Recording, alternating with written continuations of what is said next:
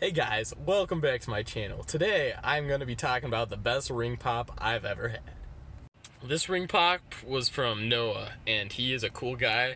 So if you guys ever meet him, give him a high five for me. If you'd like to see just how ring poppy it was, check out my tongue. That's a blue tongue if I've ever seen one. Noah also gave me this for my toenails. Not really sure how to use it. If you know how to use something like this, um, let me know in the comments because I really have no clue. Lastly, he gave me some coconut flavored chapstick. Now, when I don't know about you guys, but my lips get dry. So Noah, you are the bomb. Never change. Now the ring pop was raspberry flavored, and it only took me 10 minutes to dissolve it in my mouth without chewing it at all. That's just how acidic my saliva is. And yes, ladies, I am single.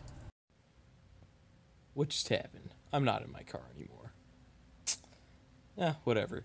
So yeah, we've hit 100 subscribers. So if you want a chance to win some of Seth's merch, you should leave a comment on this video, and I will randomly select one person, and then they will get some merch. It'll be great.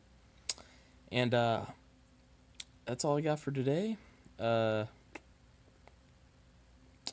don't forget to be awesome, and don't forget to eat some ring pops.